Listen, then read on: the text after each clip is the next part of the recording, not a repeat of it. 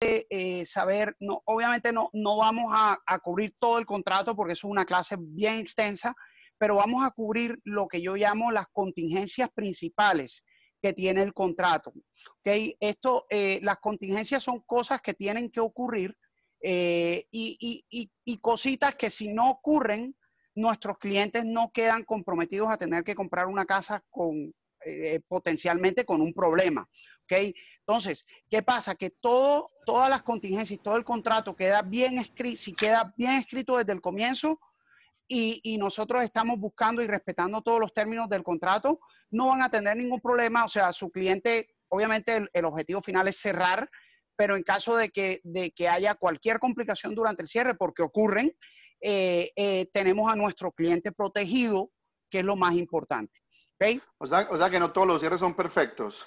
No todos los cierres son perfectos. De, eh, eh, de, eh, desafortunadamente les digo, les digo ese, ese tip. Todos sabemos que siempre ocurre algo, mano, desde el comienzo. Pero bueno, para eso estamos aquí, para eso somos asesores de bienes raíces y para eso, para eso, pues, yo estoy aquí para ayudarlos y, y compartir mis experiencias con ustedes para que ustedes sepan qué, puede pasar en caso de que, ocurra algo, de que no se, no se escriba algo bien. Ok, bueno, comencemos. Lo que, lo que vamos a hablar un poquito, vamos a hablar de los nombres los nombres, por qué son importantes dentro del contrato, cuándo se tiene que agregar eh, nombre esposo y esposa, etcétera, etcétera. Vamos a hablar un poquito de eso. La gente cree que es muy básico, pero no es tan básico como creen. ¿Okay? Y, y tiene repercusiones, puede tener unas repercusiones muy grandes si no lo hacemos de la manera correcta. Vamos a hablar de los periodos de tiempo. De los periodos de tiempo, eh, mucha gente lo único que sabe es que son días, días calendarios, pero hay, otra, hay otras cositas, hay, hay, unas, hay unos periodos de tiempo que no se afectan por el hecho de ser holidays o eh, eh, sábado o domingo. Quiero, quiero comentarles un poquito de eso, no vamos a perder mucho tiempo ahí, pero sí quiero que estemos claros con eso. Vamos a hablar de lo importante eh, de llenar la primera página correctamente. La primera página es el precio y todos los términos de depósito y términos de financiación. Mucha gente no lo llena y les voy a explicar por qué es importante que lo llenemos y cómo afecta esa primera página otras contingencias dentro del contrato. Vamos a hablar obviamente de la cláusula de financiación. Quiero, quiero explicarla bien. No la vamos a leer completamente, son dos páginas, casi dos páginas del contrato les pido, por favor, que se la lean cuando tengan un chance dentro del contrato, pero sí eh, hay un gráfico que yo mismo preparé que me, que me gustaría, eh, me gustaría que ustedes lo, lo tuvieran y, y para, para, revisarlo con ustedes. Vamos a hablar de la cláusula de ocupación, eh, de, de ocupación y de posesión de la propiedad. Esto es algo que mucha gente no lo utiliza, algo que mucha uh -huh. gente ni, ni, lo llena y es importante saber y determinar cuándo hay un inquilino en la propiedad y se va a entregar y o cuándo se va a entregar posesión de la propiedad y cuándo no se va a entregar posesión de la propiedad en el cierre. ¿Ok? Muy importante, mucha gente no, no sabe, eh, no es que no sepan esto, sino que lo dan, lo dan por, eh, por, por, por, por eh, por sentado, pues lo, por sentado, esa era la palabra que no le dan importancia suficiente. Exacto, gracias Gio, gracias. Y entonces vamos a hablar de eso para que ustedes sepan dónde tenemos que hacer el checkmark, etcétera, etcétera. Vamos a hablar de la cláusula de inspección. Esta quizás es la que más conocemos, la que más trabajamos, pero bueno, vamos a hablar, vamos a, decirle un poquito de, los lenguajes que tiene. Eh, y finalmente vamos a hablar de la, uh, el condo rider, de, las, contingencias que inserta eh, el condo rider al contrato. ¿okay? Mucha gente no sabe eh, lo que trae la importancia de ese condo rider hasta que lo leemos. Así que es muy importante que estén, eh, lo dejé de último no por nada, pero para, eh, por favor, no se pierdan esa parte. ¿Ok? Bueno, sin más preámbulo, vamos a comenzar, que sé que tenemos 40 minuticos. Eh, ¿Cierto, Gio? Tenemos hasta las 11 o hasta o antes? No, hasta las 4 de la tarde. El, el, el, el floor es todo tuyo, Dani. Ah, bueno, bueno. Excelente. Excelente. Bueno, ¿por qué los nombres son clave? La, eh, eh, es importante que sepan de que las personas o la persona que nosotros ponemos en el contrato es la persona que va a ir en el título de la propiedad. ¿okay?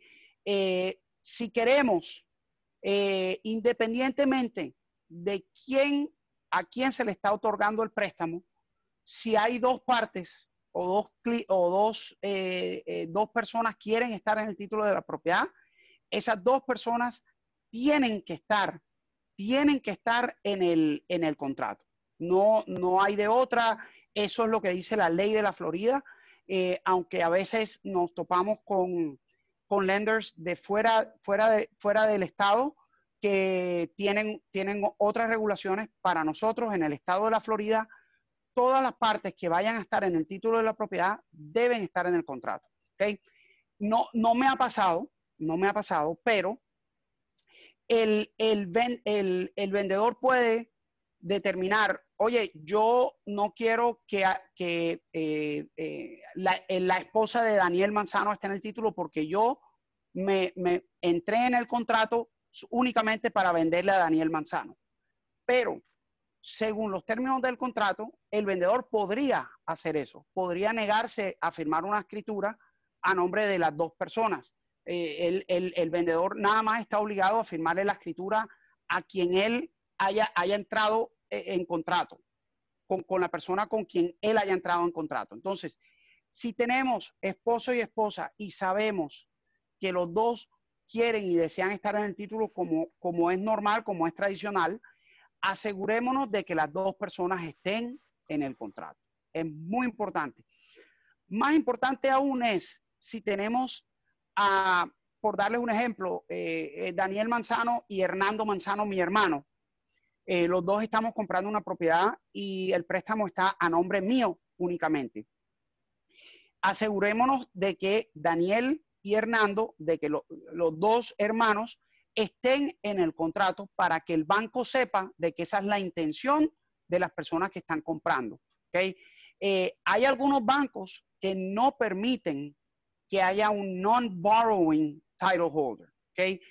Eso quiere decir que es una persona que no esté en el préstamo, pero esté en el título de la propiedad. Hay, hay bancos que no lo permiten, eso depende de los, de los requisitos y, y los guidelines de cada banco y cada inversionista, pero si es nuestra intención de que los dos hermanos estén en el título, aun cuando uno solo es el que vaya a estar en el préstamo, asegurémonos de que esa persona esté en el contrato.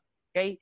Es lo más importante, sobre todo le estamos dando el full disclosure al banco en el momento que estamos aplicando. Mira, aquí está Daniel y Hernando en el contrato, los dos quieren estar en el título, pero únicamente el préstamo va a estar a nombre de, Daniel. Muy, muy importante. Dani, eh, eh, em, para, para, preguntarte sobre eso. Entonces, ¿qué, qué pasa si los dos hermanos están comprando y se hace, se hace la oferta, se acepta la oferta, estamos en un executed contract, se le manda al loan officer para que el loan officer someta pues el tema del préstamo y el banco dice que no.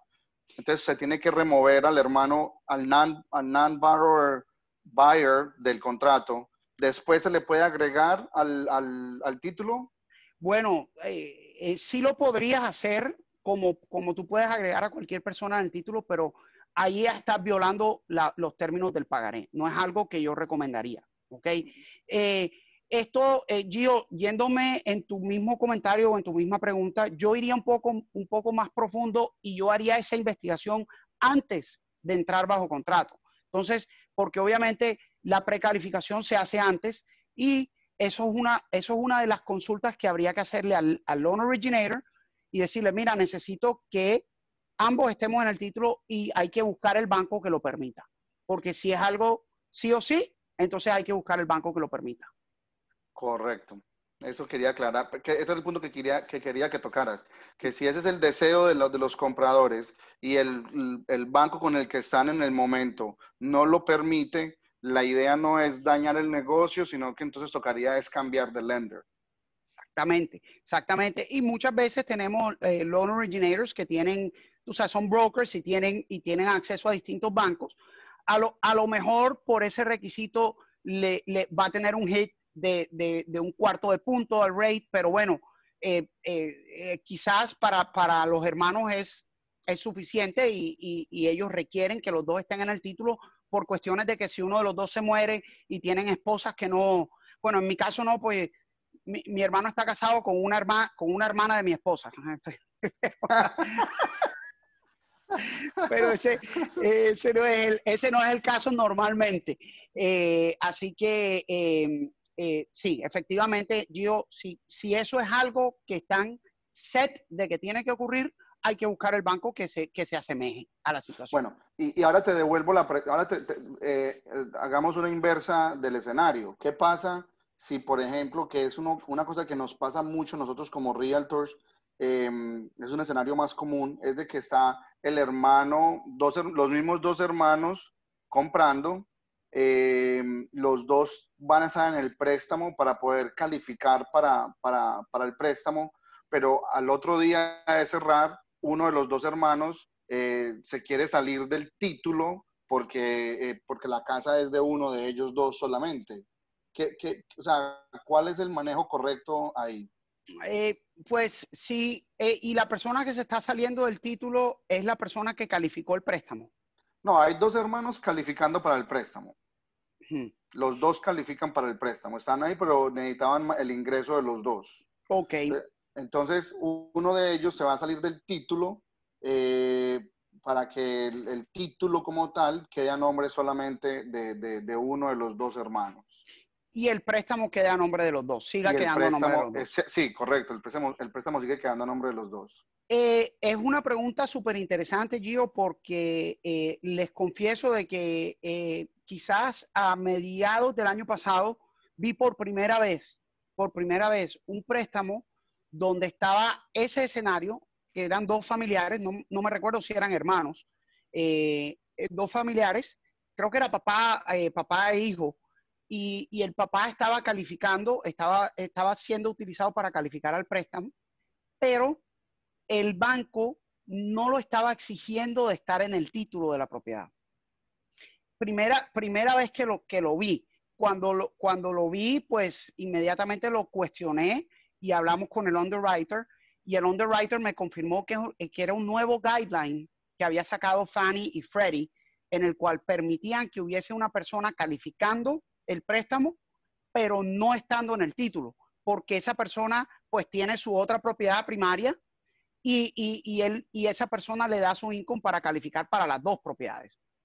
Entonces, eh, y de ahí lo he visto unas cinco o seis veces eh, donde han utilizado ese tipo de préstamo que la persona no requiere estar en el título, aun cuando está calificando para el préstamo.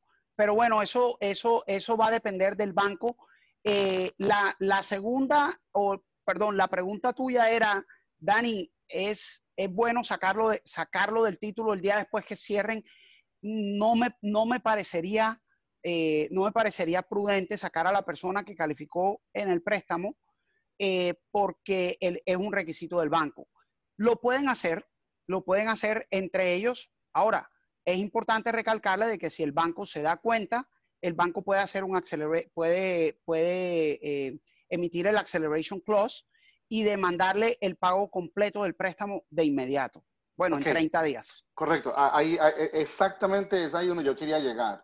Porque siempre me preguntan, muchos de mis realtors me preguntan lo mismo, de que si va a comprar el papá y la mamá, o mis clientes me preguntan si va a comprar el papá y un hijo, porque el papá tiene también ingreso, pero la propiedad es realmente del hijo, y después de comprar, que si a los 30 días, o los dos meses, o los tres meses, el papá se puede salir del título para que la propiedad quede del hijo.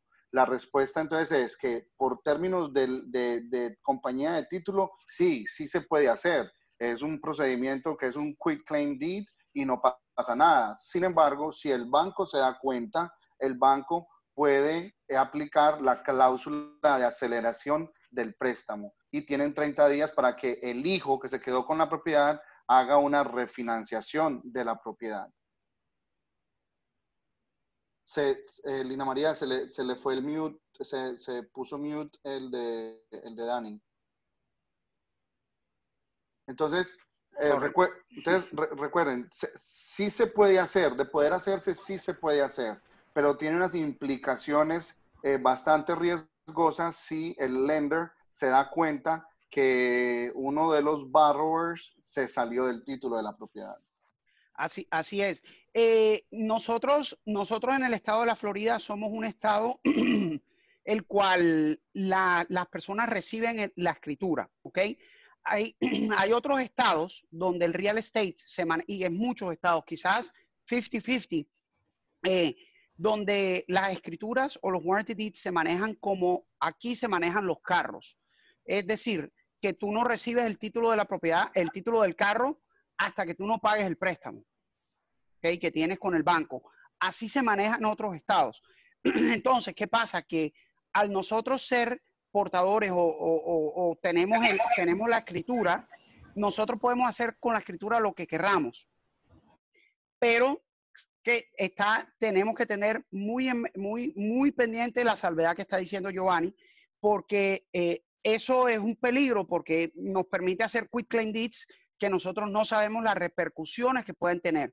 Eso, puede, eso es una de las repercusiones que puede tener. Otra de las repercusiones pueden ser capital, capital, capital, ah, capital tax gains, ¿ok? Que es cuando se transfiere la propiedad por cero y entonces luego lo, lo vendiste por 600 mil, pero el valor de adquisición fue cero y entonces ahí pusiste al cliente en una posición donde los 600 mil que vendió los tiene que reportar como una ganancia porque no tiene un basis para declarar en cuanto adquirió la propiedad, cuando esa persona lo que hicieron fue que se la transfirieron a través de un quit claim deed. Hay muchas repercusiones. Luego está las estampillas que habría que pagar dentro de ese quit claim deed, que eso es algo que viene del Department, del Department of Revenue. Y, lo que he visto es que eso, eso viene por olas. Cuando el Estado necesita, necesita dinero, empiezan a buscar todos los quit claim deeds y empiezan a mandar las cartas. Así que eso puede, puede, ocurrir cinco años después de que haces el quick claim Así es, así es. Así que hay que tener mucho cuidado con eso. Hay que tener mucho cuidado con eso. Por aquí están preguntando que cuántas personas pueden aparecer en el contrato. Todas las, o sea, no hay ninguna limitación. No hay ninguna limitación. Ahora, no queremos lo que eh, he, visto en contadas ocasiones. He visto eh, Daniel Manzano, Olga La Torre, esposo y esposa, y eh, Juan, Pepito, eh, Pepita, todos mis hijos en el título. Eh, es complicado. Pues, número uno, porque eh, si, estás, si estás haciendo un préstamo, número uno, el primer obstáculo va a ser el banco que vas a tener. ¿Ok? Entonces, el banco le va, únicamente la, la, única persona que normalmente permiten en el, en el título que no sea un borrower es, la, es el esposo o la esposa. ¿Ok? Es la, es la única persona que permite. Y número dos, tienes que tener en mente de que cuando vayas a vender, vas a necesitar a buscar a Pepito, a Pepita y a todos los que pusiste en el título de la propiedad. Y si son menores de edad, tienes un problema más grande porque entonces te toca hacer un guardianship con la corte y pedir un permiso para firmar por, por, por el menor de edad. Entonces es complicado complicado. Y también, ¿a cuánto tiempo se puede salir la otra persona sin que el banco acelere los pagos? Mm, ah, no, ya, ya Giovanni. No, a, ninguna, no, en ningún momento. O sea, la, el, el, el, siempre que se haga, siempre que se exista la posibilidad de que alguien se salga del título, existe la posibilidad de que el banco se dé cuenta y, y en cualquier momento, sea al año, a los dos, a los tres, a los cuatro, a los cinco, a los quince años. No, no hay un tiempo predeterminado para que la persona pueda hacerlo sin que exista el riesgo, excepto, excepto si el, el, el, el, dueño de la casa, los dos, las dos personas llaman al banco y, y le piden autorización al banco y hacen un proceso de, de, con la autorización del banco. Ahí ya sería diferente, pero realmente eso no sucede, el banco no lo va a permitir. Eh, justo, justo ahorita, y, ahorita si quieres, cuando terminó la presentación, porque la tengo abierta, un cliente me mandó unos documentos que le habían llegado de Chase, donde él llamó a Chase a pedirle autorización para transferir la propiedad a nombre de su trust. Y, y Chase parece que, le, que le, va, le va a considerar su, su, su petición y le mandaron un formulario para, para, llenar. Ahorita se los comparto para que lo vean. Okay. Así que, bueno, sigamos, porque imagínate, ya estamos aquí, Gio, vamos a terminar a las 4 de la tarde. bueno, vamos a ver. Eh, otra de las cosas con los nombres. eh, una de las cosas eh, que me imagino que Gio y Lina les, les, les comentan siempre es cuando estén firmando una o, o- o llenando una oferta, miren el récord del condado, miren, si pueden, miren la escritura anterior y asegúrense de que, de que ustedes ponen los nombres de todos los vendedores, de todos los que aparezcan en el, en el, en el condado. Y cuando, cuando reciban el contrato de vuelta, asegúrense de que esté firmado por todas las personas que dicen que usted les pidió que firmaran. ¿ok? Eh, como práctica usual o tradicional, les recomiendo que siempre revisen el Previous Warranty Deed, que es muy fácil de sacar en el, en el, en el website del condado. Así que esto, esto lo deberían hacer como práctica. Gio, ¿tienes algún comentario con esto? No, no, está bien. Perfecto. Entonces, eh, si tenemos, aquí muchas veces pasa de que nosotros tenemos dos o tres personas en el, en el título actual y recibimos el contrato y está firmado por dos. Faltó, faltó la tercera persona. No, no nos damos cuenta porque pensamos, pensamos, no, ya, ya tenemos un contrato ejecutado y resulta de que eh, eh, eh, se, se manda a la compañía de título, nosotros abrimos el file y todo, y cuando, perdón, eh, una semana, dos semanas antes del cierre, cuando nos estamos preparando, resulta que faltó la firma de una de las personas, eran tres hermanos, y, y ese hermano no, no, era, es el hermano problemático que no quiere vender la propiedad. ¿Y qué pasa? No tenemos un contrato ejecutado y no hay nada que hacer. O sea, básicamente no hay nada que hacer. Entonces, como práctica usual, asegúrense de que si ustedes mandan eh, para, para que tres vendedores firmen, que reciban el contrato firmado por tres vendedores. ¿ok? Si recibieron el contrato firmado por dos, de inmediatamente cuestionen. Cuestionen porque puede ser que uno de los tres haya fallecido, ¿ok? Y entonces haya que hacer un probate, etcétera, etcétera. Pero cuestionen de inmediato si ustedes ven que una de las partes no firma el contrato. Ok. Ok, bueno, se- seguimos. Vamos a hablar de los periodos de tiempo. Esto está al, al final, de la, al final de, la, de la primera página y en las cláusulas de tiempo. ¿ok? Es importante que sepan de, eh, de que el, el- el tiempo para aceptar la oferta ¿ok? esté escrito en el contrato. ¿ok? Ustedes ponen una oferta y ustedes le dan al vendedor un, un periodo de tiempo razonable, ¿no? Eh, dos días, ¿cuánto normalmente le dan, Gio? Dos días, tres Dos, días. dos días, dos, tres días máximo. Claro que todo depende pues de la de cuando uno llama al listing agent, cuándo van a leer el contrato y cosas así, pero normalmente son dos, dos o tres días. Exacto. Entonces, si ustedes están en un time crunch, o sea, si, si necesitan respuesta antes de ese tiempo, ¿ok? Asegúrense de ponerlo eh, en, en- en la, en la cláusula que les tengo ahí encima. Si ustedes necesitan una respuesta a más tardar mañana, por decirles, pónganle eso en el contrato, porque así ustedes pueden rescindir la oferta si el vendedor no les ha aceptado, Es muy importante que sepan eso. Eh, los periodos de tiempo siempre son computados en días calendario, siempre. Eh, no son días, eh, no incluye días, días feriados, nada, son días calendario. Hay una excepción a los días feriados que ya se las voy a decir.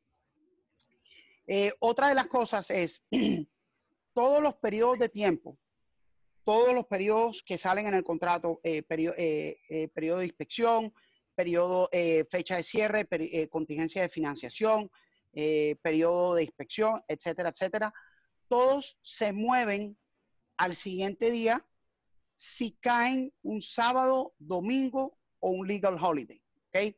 Es decir, si el periodo, el periodo para, para depositar un escrow les cae un domingo, ¿ok? Ese periodo pasa a ser el lunes antes de 5 de la tarde. ¿ok? Es la única, el único momento donde las cosas quedan para antes de 5 de la tarde. ¿ok? Si no es un día que, se, que haya sido acarreado de otro, ¿ok? como, como es el, que, el ejemplo que les estoy explicando, todas las fechas se, se cumplen a las 11 y 59 de la noche, ¿ok? Del día. Y eso es una concepción, una, un misconception que tenemos porque siempre he visto que la gente está corriendo base a las 5 de la tarde porque se les expira la extensión a las 6 de la tarde. No, ¿ok?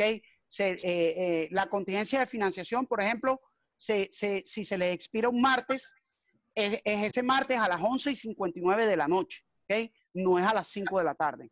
Es únicamente si, si, si les cae un sábado, domingo o un National Legal Holiday. ¿okay? Es importante que sepan eso. Y los addendums, los addendums donde se maneje eh, extensiones de fecha, esas fechas también se terminan a las 11 y 59 de la noche. Correcto, al menos que caigan en un, en un sábado. A menos que caigan un sábado o un domingo. Exacto, que ahí se extiende al siguiente día hábil y, y entonces ahí sí es a las 5 de la tarde del siguiente día hábil. Correcto. ¿Okay? Ahora, las únicas dos fechas que no se mueven por nada del mundo, si caen sábado, domingo, 4 de julio, eh, 30, eh, primero de enero, 25 de diciembre, lo que sea, eh, son las, la, el tiempo para aceptar la oferta, que es, eh, es, este que estamos hablando, y el effective date. ¿okay? Si el effective date si ustedes le, regresaron, recuérdense que el effective date es la fecha donde, donde le, pasan a ustedes copia de la oferta, ¿ok? Eh, si se la pasaron un sábado o un domingo a las 10 de la noche, esa es su fecha efectiva, no pasa al siguiente día, ¿ok? Importante que sepan eso, porque siempre estamos corriendo con los días, a veces estamos tight, eh, es el, eh, eh, no pasa, la fecha efectiva no pasa. Yo iba a decir algo, perdóname. Sí, no, no, no. ok, miren, ese es un error que pasa mucho y, es muy riesgoso. Como Dani acabó de decir, el effective date del contrato es cuando, si yo soy el que estoy comprando, yo soy el realtor que está representando al comprador. Entonces, el listing agent me manda a mí el día de hoy, hoy es 24 de junio, me manda hoy el contrato ejecutado, completamente firmado. Ese effective day es el día de hoy. Los días empiezan a contar a partir de mañana. Sin embargo, sin embargo, yo tengo la obligación de hoy mismo mandarle a mi cliente, a mi comprador, el contrato fully executed también el día de hoy, para que haya, sea congruente eso ahí porque si no, si algo llega a pasar en el futuro y se daña, se pierde escrows o cosas así porque se vencieron los días, el comprador me puede demandar a mí por, por la pérdida del escrow si yo a él le mandé el contrato al día siguiente, porque en la mente de él, él puede alegar de que él o ella, eh, eh, el effective day fue al día siguiente. No, no, no, sé si me hago entender o si Dani me, me, me, ayuda como a explicar este punto más clarito porque veo que, y me he pasado con muchos realtors de, los, de aquí de Fortex, que le mandan el contrato ejecutado al, al comprador al siguiente día de haberlo recibido. Y eso es pie para, para problemas serios si, si, algo llegase a pasar. Si no pasa nada malo, pues no pasa nada malo, pero si pasa algo, yo como realtor soy el responsable de eso. Así es, Gio. Muy bien dicho.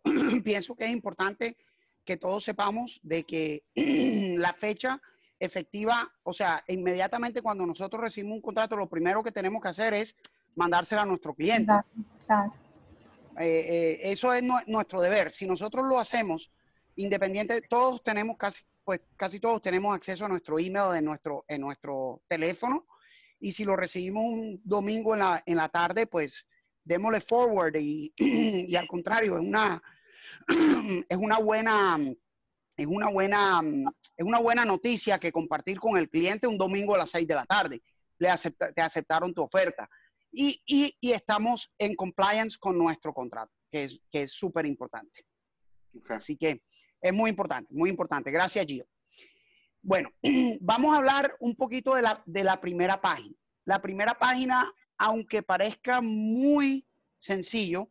El párrafo 2 específicamente, no, no, eh, toda la primera página debería estar eh, llena, llena, completa, pero aunque parezca muy sencillo, el párrafo 2 debe estar lleno completo, ¿ok? Eh, el escrow agent y el depósito debe estar claramente identificado y el monto de la financiación debe estar claramente, claramente delineado en esta página. ¿okay? Eh, eh, eh, aquí les tengo un ejemplo, por ejemplo, 150 mil dólares es el precio de compra, 10 mil dólares es el depósito. ¿Ok? Se va a hacer, asegúrense de que seleccionen de que se va a hacer tres días después de, la fecha efectiva. ¿Ok? Esto es muy importante, poner la cantidad de financiación. Esto es el único, la única mención del monto de financiación que hay en todo el contrato. ¿okay? Ni siquiera en la cláusula de financiación está el monto del préstamo. ¿ok? Entonces, si tenemos una persona que está obviamente muy set en, en que yo, ten, yo necesito que me presten el 70%, sí o sí, si me califican para un 65%, no puedo comprar porque no tengo ese 5% adicional. ¿ok? Entonces, no pongamos en nuestro eh, no pongamos en riesgo a nuestro cliente y pongamos y demos el full disclosure de cuánto es lo que el cliente vaya va a necesitar de financiación y eso se pone en el párrafo 2, ¿ok? Eh, ustedes lo pueden expresar como un porcentaje o como un monto del préstamo, como ustedes quieran, dependiendo. Lo normal es que se pone como un porcentaje, porque si cambias el, monto, el, valor de la, propiedad después de que llega el appraisal, no tienes que estar cambiando el monto del, monto del préstamo, porque se cambia, se cambia por sí solo.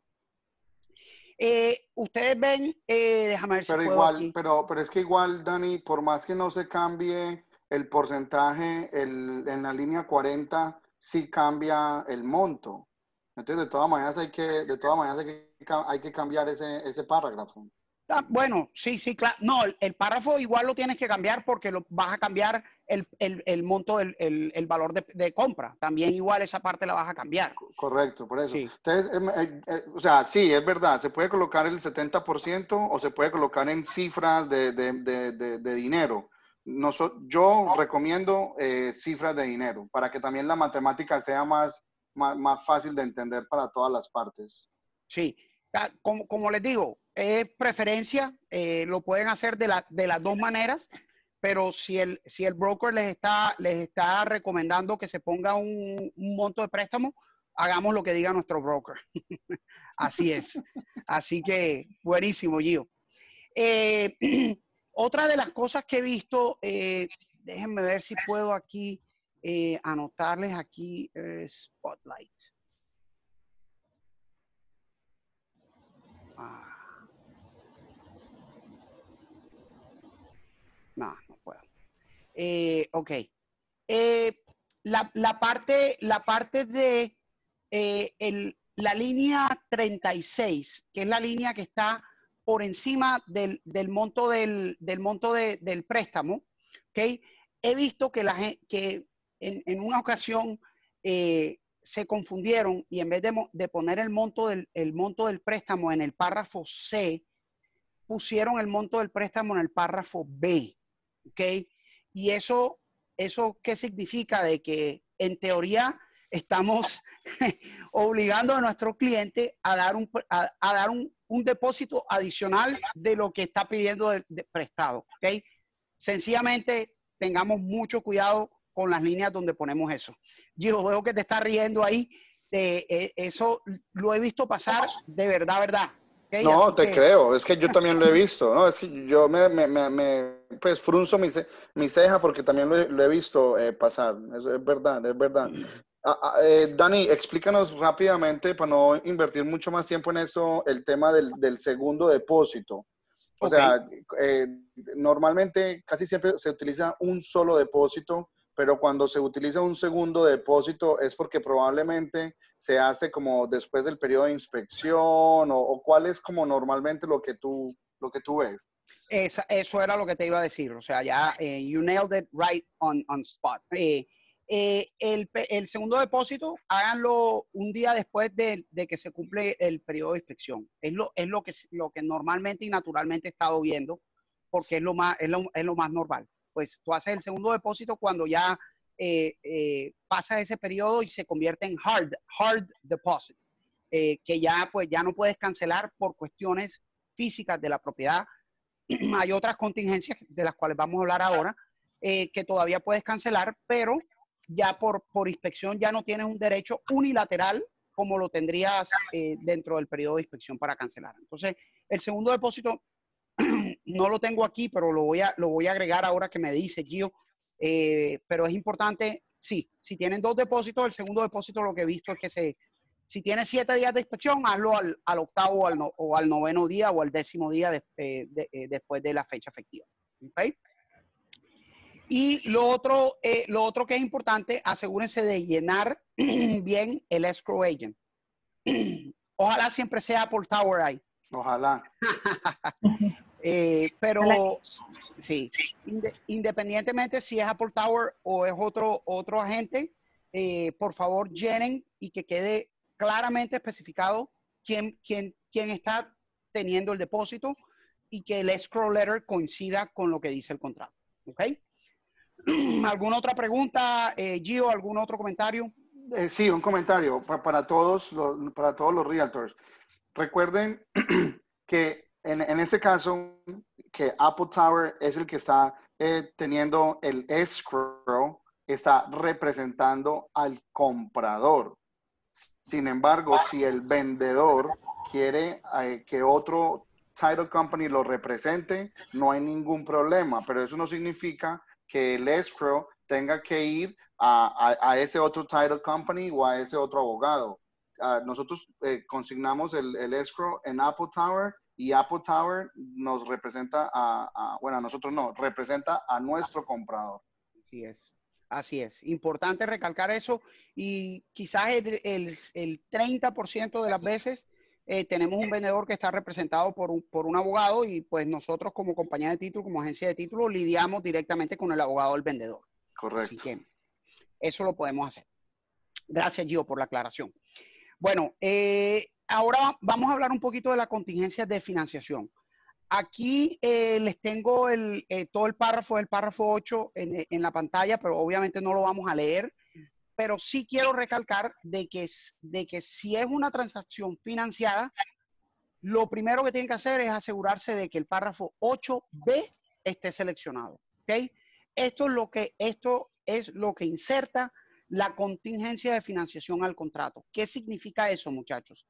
Eso significa de que en caso de que nuestro cliente no le aprueben el préstamo, nuestro cliente puede, puede optar por no comprar puede decir, bueno, si no me aprobaron el crédito, yo no puedo comprar esta propiedad y el, y el cliente se puede retirar porque de buena, de buena, él hizo su procedimiento de, y de buena fe no le aprobaron el crédito. Eso, eso nos pasa, ¿no? Nos pasa y nos pasó sobre todo ahora con la pandemia de que, de que a mucha gente le congelaron los, los, los salarios, le congelaron los puestos y terminaron con el préstamo denegado o, por lo menos con el, con el préstamo pospuesto hasta, hasta, hasta nueva orden. ¿okay? Si, algo que, si algo quiero transmitirles hoy es que en cada transacción financiada, asegúrense muchachos, no es suficiente solamente poner el monto del préstamo en el, en el slide que les acabo de mostrar antes de este, pero eh, eh, seleccionar el párrafo 8b es lo más importante, es lo que inserta la contingencia de financiación a nuestro contrato. ¿okay? Es importante. No sé, Gio, si tú tienes algún otro comentario con esto. Quería preguntarte, no sé si lo vas a tocar, pero ¿qué pasa si, por ejemplo, como en ese escenario que tú estás mostrando, tú no marcas la letra B y, y solamente marcas la palabra convencional o FHA o VA? ¿Qué pasa en ese, en ese momento? Igual el contrato seguiría eh, contingent a ese financiamiento o hay que marcar el chulito en la letra, en la cajita de la letra B? Hay que marcarle el chulito, Gio. Hay que marcarle el chulito para, para, para, que quede, para que quede bien claro. Porque si tú te fijas, mira lo que dice, dice, this contract is contingent upon buyer obtaining approval of uh, conventional. Si nosotros nada más tenemos conventional seleccionado, pues no, la, la, cláusula B en su, en su totalidad no está, no está siendo seleccionada. Entonces, no evocada, correcto. Es muy importante eso, eh, eh, compañeros. Necesitamos marcar el cajoncito de la línea, de la línea 86, al lado de la letra B, porque si no, si no lo, si lo dejamos sin marcar, es, nos, dejamos, nos quedamos abiertos a que eh, nos puede, si algo pasa malo, nos, el, el abogado del dueño nos pueda quitar el escrow deposit. Así es, así es. Importantísimo, selecciones, si algo, si algo, pues, le, los invito a que la lean. Léanse completamente el párrafo 8 que eh, les aseguro que va a haber algo que ustedes no sabían, porque cada vez que yo leo, algo, algo sale. Sí. Les, les, les recomiendo que lo hagan eh, cuando tengan tiempo eh, como material de lectura, no se demora nada, pero léanlo eh, para, para que ustedes vean. Ok, eh, eh, esto es los, lo, lo, que, lo que le sigue en la siguiente página, pero lo tengo para, para cuestiones gráficas aquí, no lo vamos a leer, pero lo que sí quiero, lo que sí quiero mostrarles es este, es este gráfico de contingencia de financiación que yo les hice. Ok, vamos a ver un, ejemplo. Tenemos una, un contrato que está a 45 días para cerrar. Este, esto es el caso que estamos viendo en pantalla. Normalmente, y hoy en día todavía se, eh, estamos utilizando, tenemos 30 días para qué? Para que nuestro cliente, si estamos representando al buyer, obtenga su aprobación del crédito.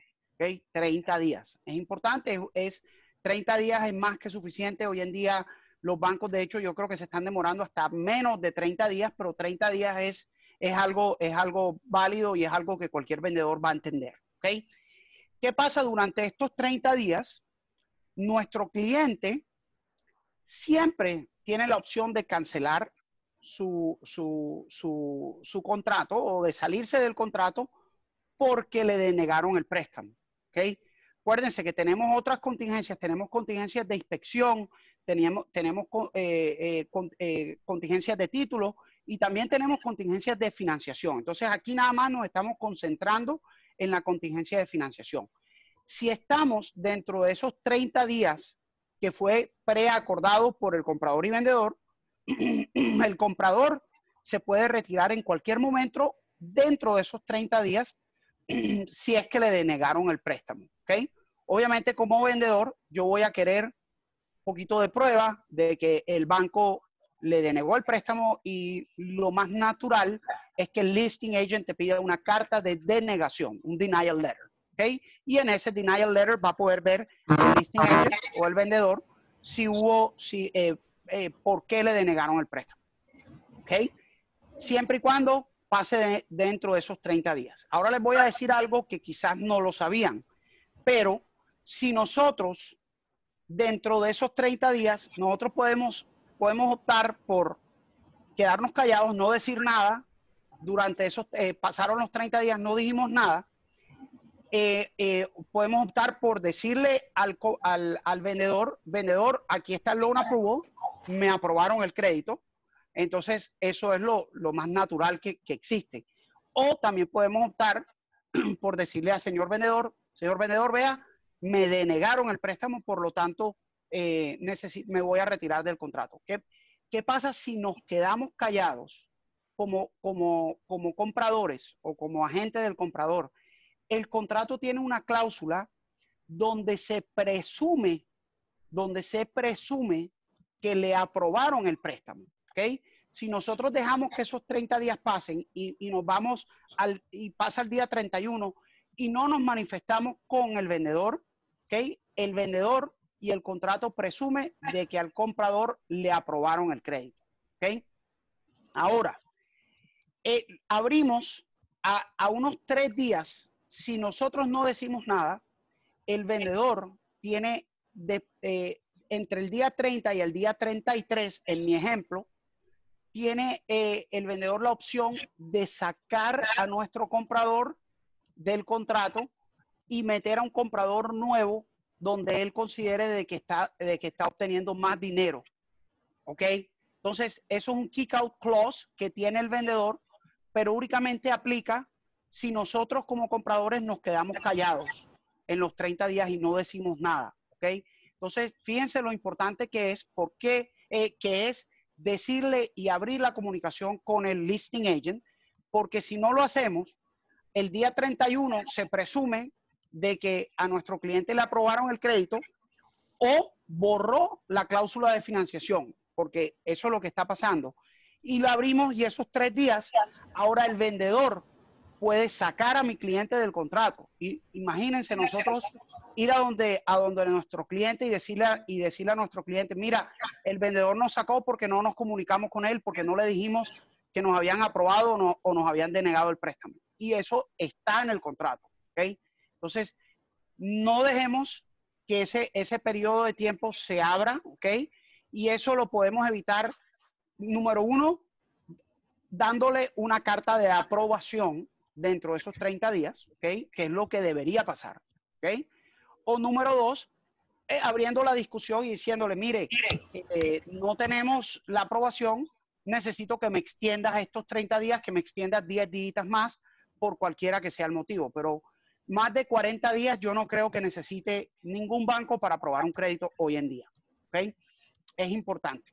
Gio, iba a decir algo. Sí, eh, eh, eh, por favor, por favor, por favor, por favor, no se queden con que el loan approval se tiene que entregar a los 30 días. Es solamente por el ejercicio que está haciendo Dani aquí el loan approval tiene que entregarse de acuerdo al contrato que cada uno mandó.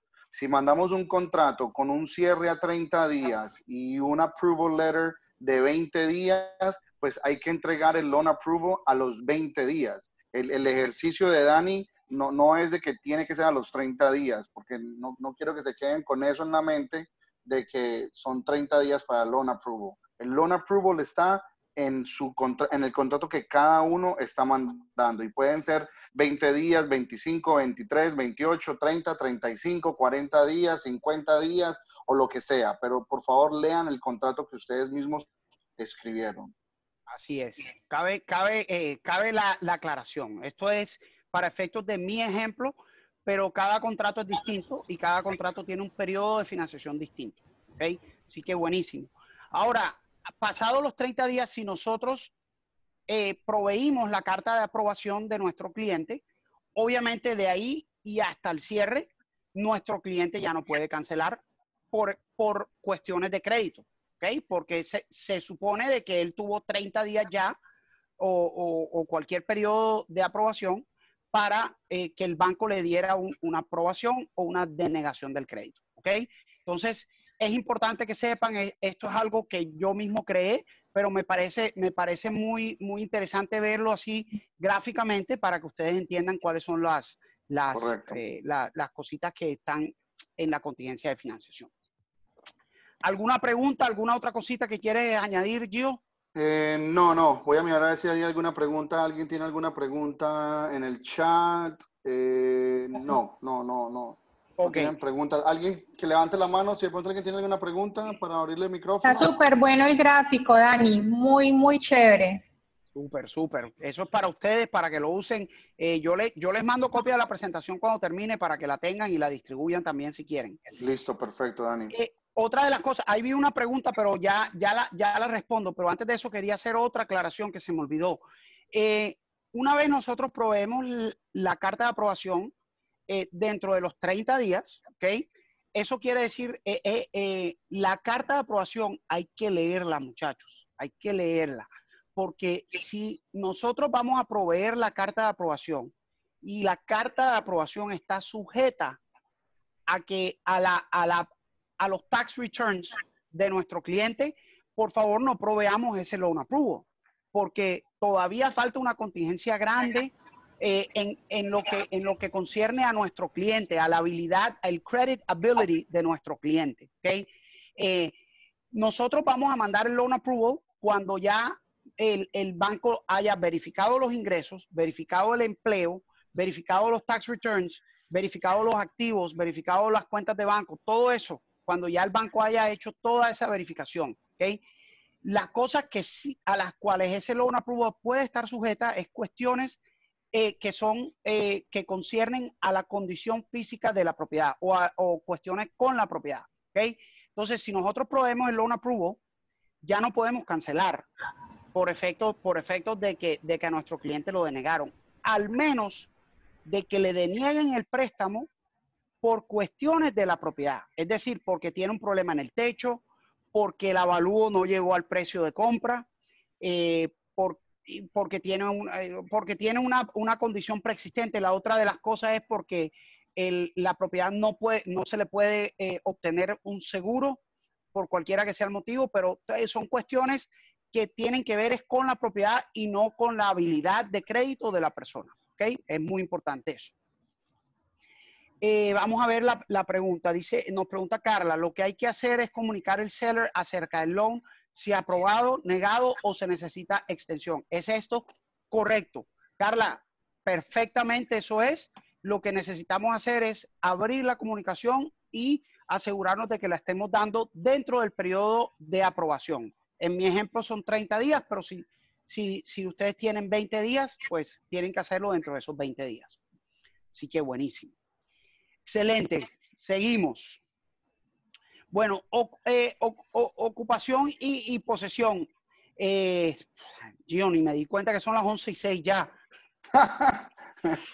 no, dale, tenemos hasta las, hasta, las, hasta las 12. A las 12 ya otro, otro ratico, hasta las 12. Ok, ok, perfecto, ok. Ok, ocupación y, y, posesión. no, no, ya, ya casi, ya casi terminamos, así que vamos, vamos a darle.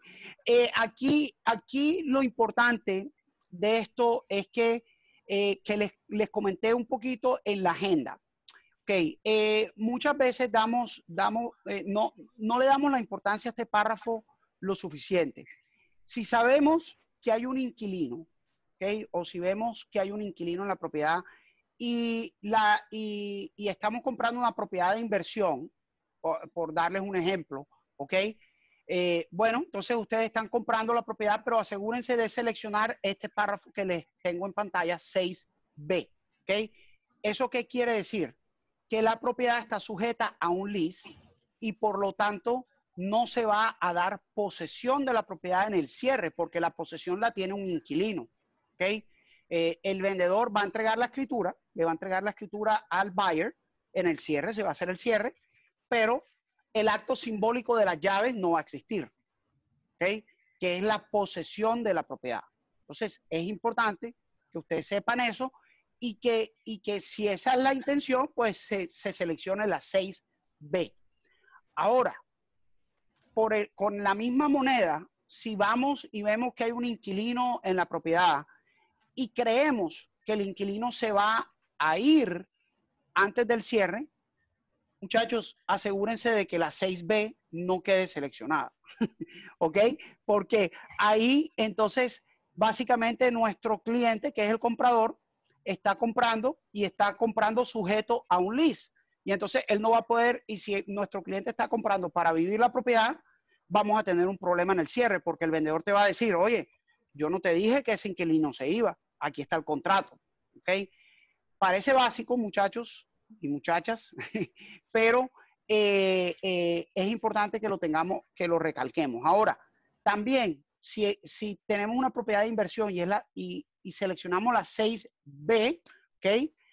Ahí estamos poniendo al vendedor con la responsabilidad de que nos entregue los términos de ese lease.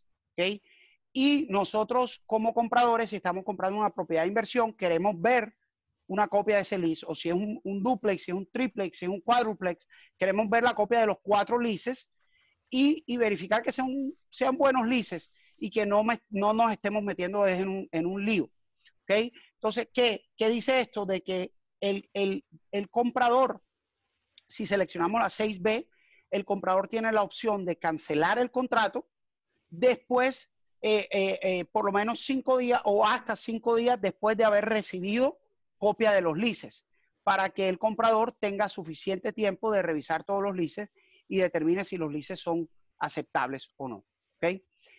obviamente esto también trae en, en, en, la siguiente página del contrato, también trae a colación el hecho de que se tiene que dar, si se está comprando una propiedad de inversión, se tiene que dar un tenant estoppel letter.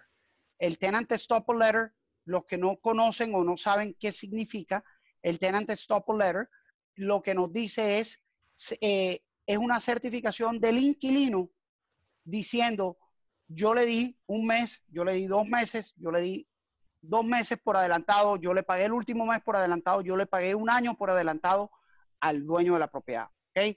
Es importante que recibamos esa certificación de parte del inquilino, porque el inquilino es a la persona que va a, heredar el buyer dentro de su propiedad. Y entonces el buyer quiere asegurarse de que eh, el vendedor le transfiera todos los depósitos o toda la renta por adelantada que, le, que le, se supone que ese cliente, el, buyer, le tenga que devolver al inquilino cuando el inquilino se vaya. ¿okay? Y no estemos en una posición de que, oye, nada más me transfirieron un mes, nada más me, y, faltó el último mes de renta que también lo tenía el dueño de la propiedad. ¿okay? Es importante eso. Es siempre importante que el tenant nos certifique eso, pero ojo, también he visto de que los tenants se ponen, eh, se ponen eh, chistosos con la cuestión de no querer certificar a nada.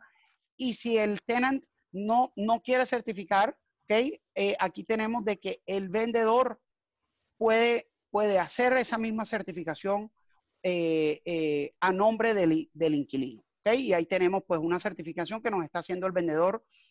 Obviamente, si el, si el vendedor nos está mintiendo, pues tenemos que hacer una demanda en contra del vendedor por fraude, pero por lo menos tenemos una certificación de parte del vendedor. ¿Alguna pregunta aquí?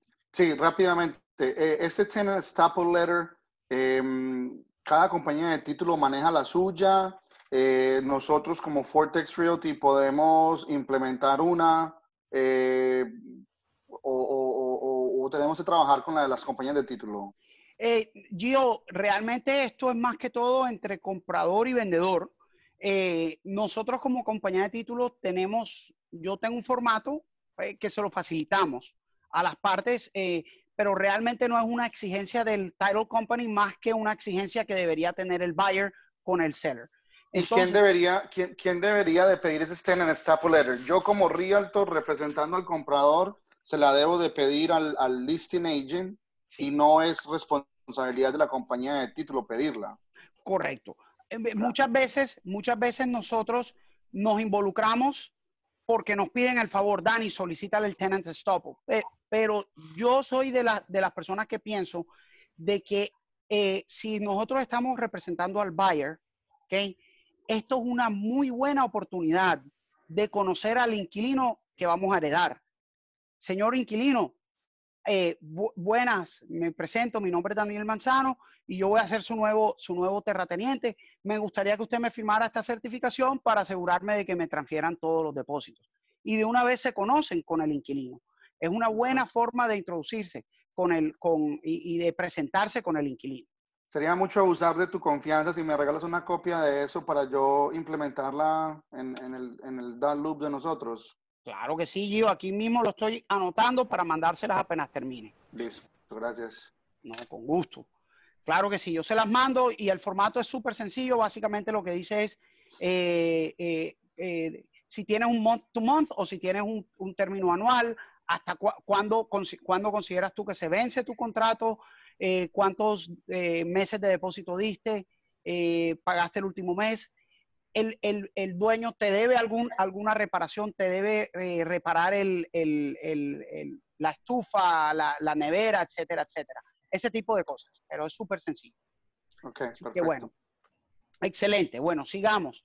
En el ASIS Clause, ah, no ah, qué pena. Como ya terminaste lo de la, lo de la posesión, quiero aclararles a, a, a todos de que normalmente las llaves a la hora del cierre las llaves, el listing agent las entrega una vez el dueño ha recibido el, dinero. No es de que uno vaya y firme y apenas firma, a uno le entregan las llaves de la propiedad. Hay veces que sí sucede, pero no están obligados a entregarnos esas llaves. ¿Puedes, puedes aclarar de pronto ese puntico ahí, eh, Dani, por favor? Sí, claro, yo. Eh, sí, el, el, funding, el, funding es algo que, que, mucha, mucha gente, a veces hasta se complican los cierres ahí, ¿ok? Pero eh, una vez estamos en el cierre, recuérdense de que nosotros cerramos con el comprador y el comprador tiene que firmar una resma de papel de 150 papeles, ¿ok? Esos 150 papeles hay que mandárselos al banco eh, para que el banco lo revise. Y eh, tenemos bancos que, número uno, a veces no mandan el giro de ellos hasta que ellos no vean los documentos firmados. ¿okay? Número dos, de que ellos no van a autorizar que nosotros eh, desembolsemos el dinero del banco hasta que ellos revisen los documentos. Entonces, eso es un proceso que puede tardarnos 15 minutos, 20 minutos o puede tardarnos cuatro horas. ¿okay? Y entonces, a veces no nos gusta que las personas o que los clientes se queden aquí esperando cuatro horas por sus llaves cuando sabemos que es un procedimiento que hay que hacer con el, con el banco y, y, que, bueno, a veces tiene, tiene su, su, periodo de tiempo que se demora. Es importante, Gio, excelente que hayas hecho esa, esa, esa aclaración porque eh, yo creo que lo más sano y lo más sabio es siempre hablar con los compradores y, y, poner las expectativas antes de que les llegue al cierre y que esto no sea una sorpresa cuando están en el cierre. ¿Por qué? Porque muchas veces entonces tenemos clientes que se, que se molestan porque piensan, bueno, ya, ya el dinero me lo, me lo sacaron de mi cuenta, ya yo puse todo, ya yo firmé todo, pero no tengo mis llaves. Entonces es importante poner las expectativas y ponerlas muy claras, sobre todo un día o dos días antes del cierre, que no, que eso no, que no haya que decirle eso en el momento del cierre porque causa molestia. Yo, yo, diría que decirle eso un poquito antes, porque ya la gente se empieza a, montar, a rentar el camión, a, separarle, eh, bueno, la compañía de mudanza o en fin, y cuando un día antes del cierre le dice uno que no le van a entregar la llave ese mismo día, entonces uno como realtor pues sufre el, malestar del comprador. Entonces yo a, mí, los realtors les recomiendo que eh, sea un tema a tocar desde, desde mucho antes, unas dos, tres semanas antes o, desde el principio para que la gente lo sepa de una vez. Así es. Gracias, Gio, por la aclaración. Buenísimo. Bueno, vamos a hablar un poquito del as is clause. Eh, vamos a hablar un poquito porque esta cláusula yo creo que es la que ustedes más conocen. Eh, básicamente, eh, nada más hay una cosita que tenemos que llenar dentro de la, de, la, de la cláusula de inspección y eso es los días de inspección que nosotros le estamos pidiendo al vendedor. Básicamente, ¿esto qué significa? Que dentro de esos 10, 7, 15, 20 días, lo que sea que ustedes acordaron con el vendedor, el comprador tiene el derecho unilateral de cancelar el contrato. ¿Ok? Porque eh, no le gustó, eh, el cliente fue a ver la propiedad eh, él, él, solo y después llevó a la esposa y la esposa no le gustó el olor de la propiedad, el cliente puede cancelar eso. ¿Ok? O fueron los dos, vieron, les gustó la propiedad y después llevaron a su maestro de Feng Shui y el maestro de Feng Shui eh, dice de que, de que la orientación de la propiedad no es la correcta y ellos pueden cancelar por eso. ¿okay? Es más, no tienen ni que dar explicación. Sencillamente dicen, mi cliente está ejecutando su derecho a cancelar el contrato dentro, dentro de este periodo de tiempo. ¿okay? Pero ojo con lo último que les acabo de decir. Dentro de ese periodo de tiempo. ¿okay? Si son siete días de inspección y nosotros cancelamos en el octavo día, ya no hay, ya no hay derecho a cancelar, muchachos, ¿ok?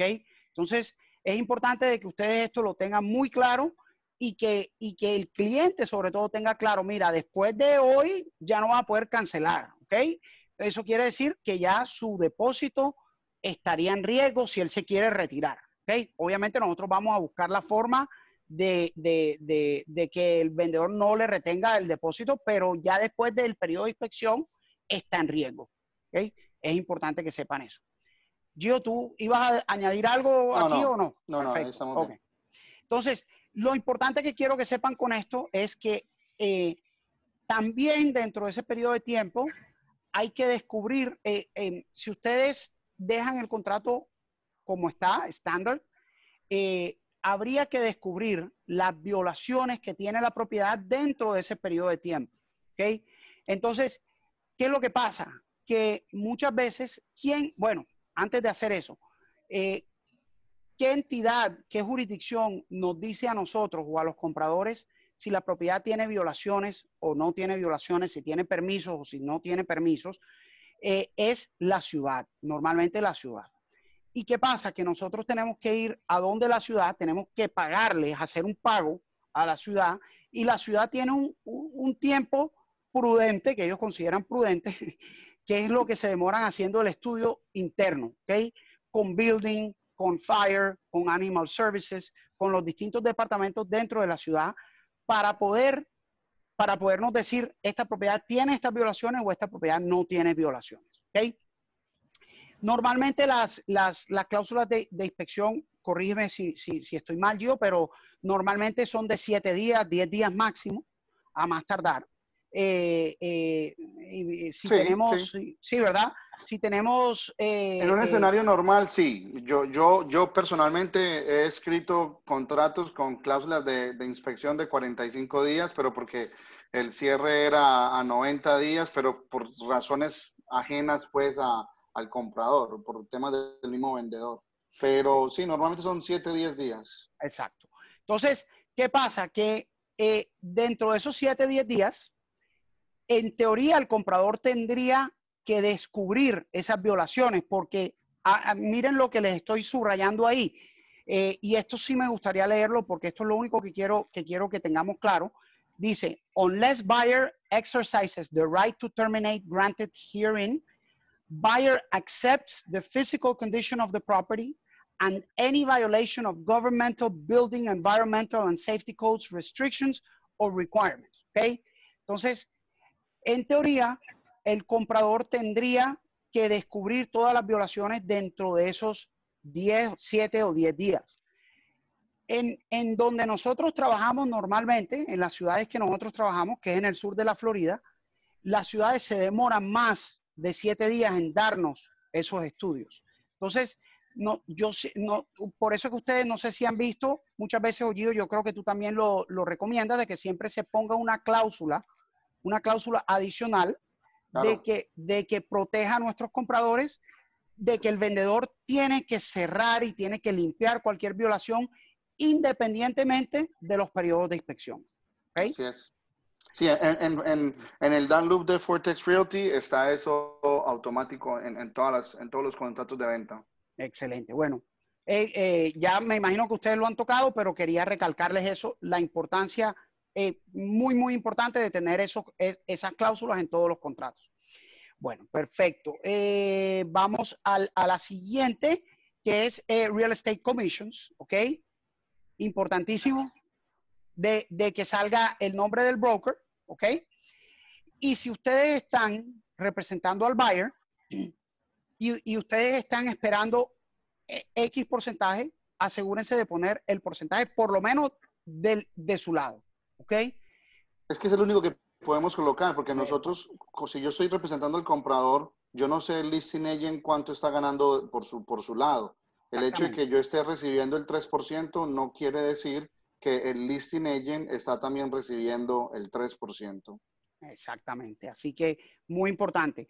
Eh, se los digo porque eh, a veces entramos en, entramos en, o, o, o los realtors entran en disputas de que oye, estaba el 3 en el MLS y le cambiaron y le pusieron al 2 y el cliente no se quedó con copia del MLS y entonces... Y eso es real, eso es real, eso, eso pasa y pasa más, más a menudo de lo que pudiésemos creer. Exactamente, exactamente. También he tenido, he tenido, he tenido casos, Gio, eh, donde, donde, se donde ponen eh, eh, one half of total commission. ¿Por qué? Porque la, la, los, los, los, realtors eh, tienen, tienen eh, o sea, quieren que a ellos se les pague la mitad y no, y no les gusta llegar a un cierre donde ellos están ganando el 3% y el listing agent está ganando el 4%. ¿Ok? Entonces, si tienen 7%, entonces le gustaría tener el 3,5%. Eso lo he visto pasar. Así que bueno, para eh, lo importante es que lo que, lo que sea, lo normal, lo estándar es 3% y si en el MLS está el 3%, pongan su 3% ahí para que el Realtor Listing Agent después no venga y cambie el MLS y entonces le haga un cambio a final, al, a un día antes del cierre. ¿okay? Muy importante, muy importante. Bueno, eh, ya como para terminar, tenemos el Condo Association Rider, eh, el Condominium Association. Eh, si nosotros sabemos que la propiedad está dentro de un condominio, muchachos y muchachas, seleccionemos el A y ane, ane, anexemos ese rider al contrato, ¿ok? Ese rider, ese condominium rider, trae una serie de contingencias que no, que no están en el contrato estándar. Y entonces es importante que el contrato estándar sepa de que hay un anejo, de que hay un rider que, que, va a, a, a, a, overrule cualquier cosa que exista antes. Y además, en nuestro caso, va a traer, va a traer contingencias adicionales.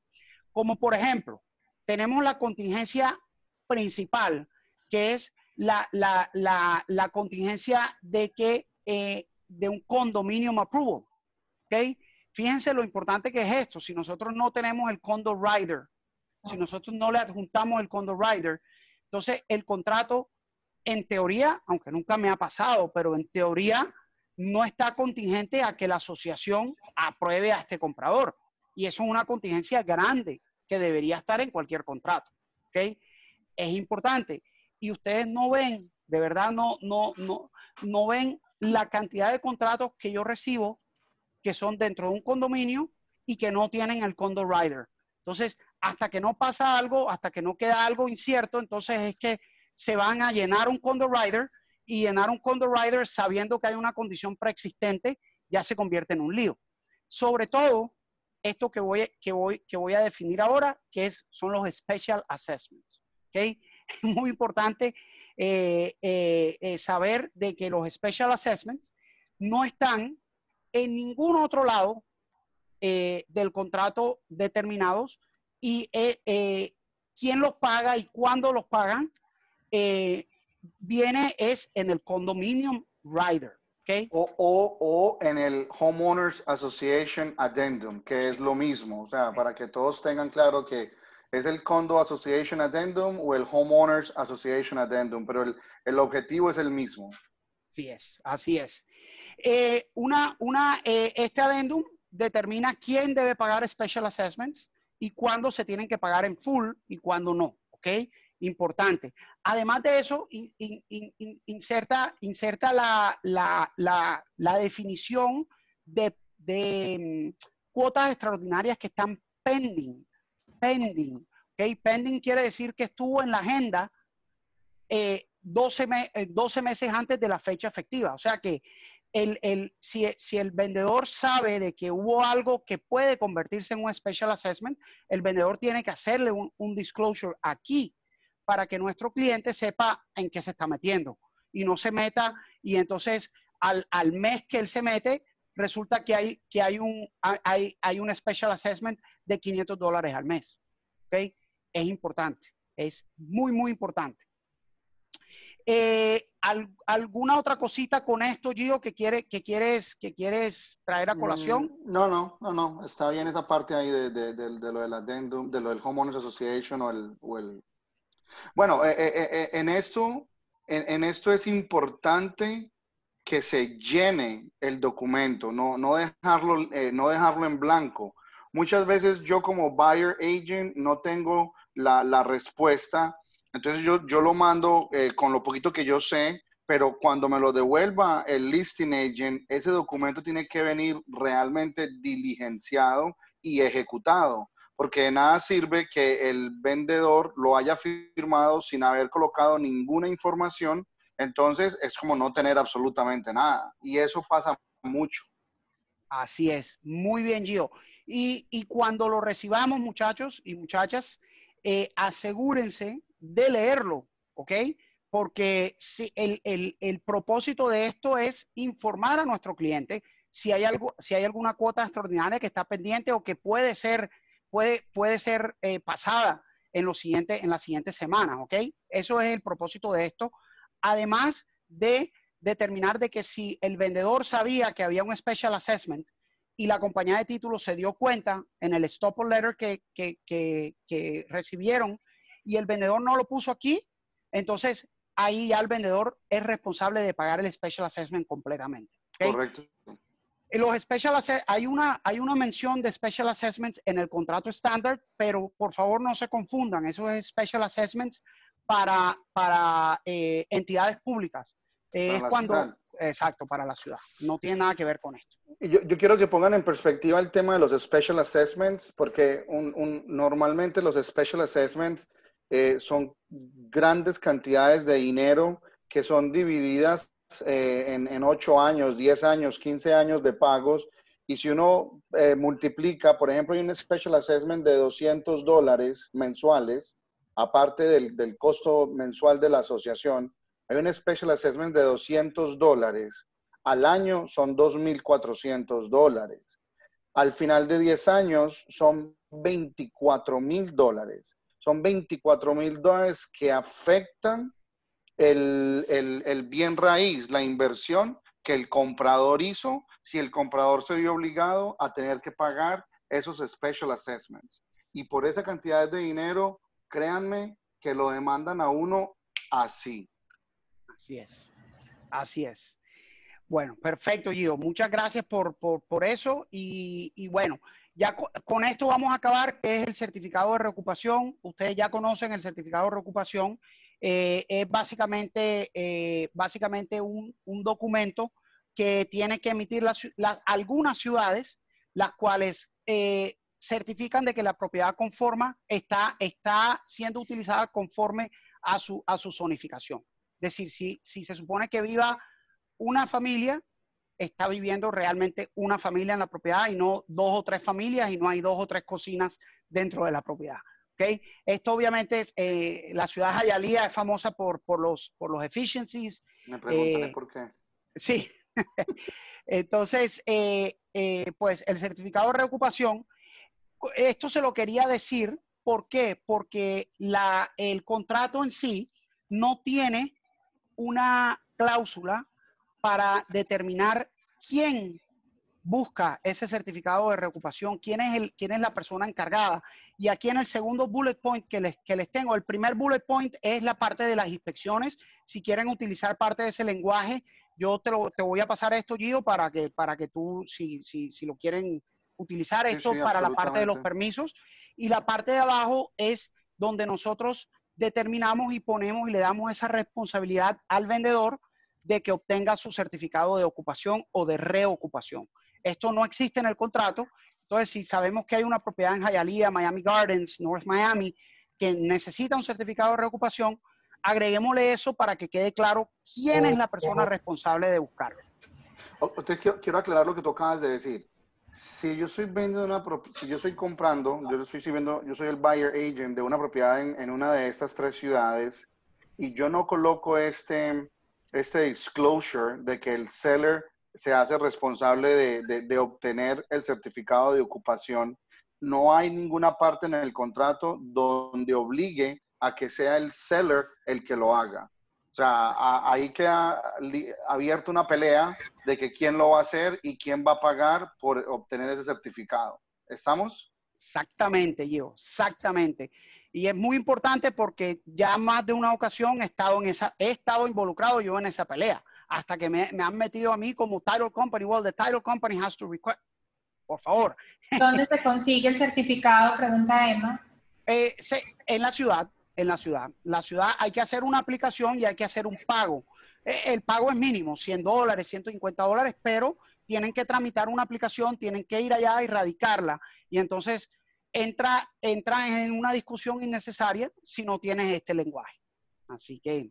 Correcto. Y, y, y Emma, para agregar a eso, es, es, es ir a la, a la, ciudad, pero es el tiempo que implica Exacto. ir a la ciudad, de que te mandan de una ventanilla a otra, y cuando el inspector va a la propiedad, puede que encuentre problemas de, de, de, en la propiedad de permisos o construcción, construcción ilegal y cosas así. Entonces se, se convierte realmente en una caja de Pandoras. Así es. Okay. Bueno, muchachos, y con esto terminamos. De verdad que muchísimas gracias por el tiempo, eh, por hacer a nuestra familia Apple Tower parte de la familia Fortex. Eh, muy, muy agradecidos. Me encanta escucharlos y me encanta verlos, así sea virtualmente el día de hoy. Tengo unas preguntitas para hacerle a la audiencia. Muchas gracias, Dani. Dani, muchas gracias. Linda María, ¿Dani se puede ir o Dani todavía necesitamos de su presencia un, un par de minuticos más?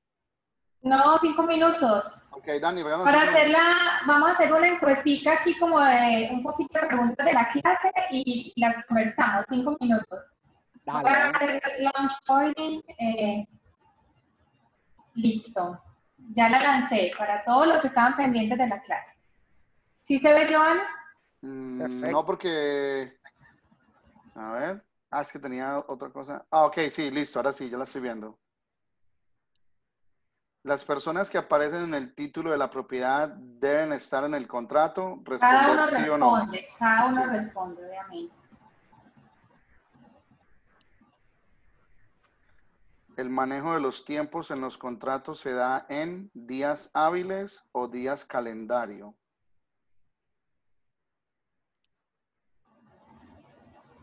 Si hay algún, si hay un segundo depósito, se debe hacer